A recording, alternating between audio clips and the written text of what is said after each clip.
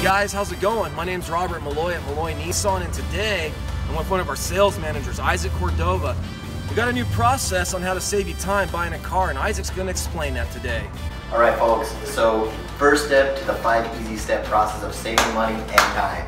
Contact MelloyNissan.com. Our internet department, Mr. Chris, one of our top guys, will be able to assist you get the job rolling very fast. Hey folks, we're getting ready to give you guys a bird's eye view of all our inventory. Step number two is going to be find what you want online. Contact Chris, like I said, on internet. We got a ton of vehicles. Take a look, folks. Step three to this quick process. Bring your insurance, driver's license, proof of income, proof of residency.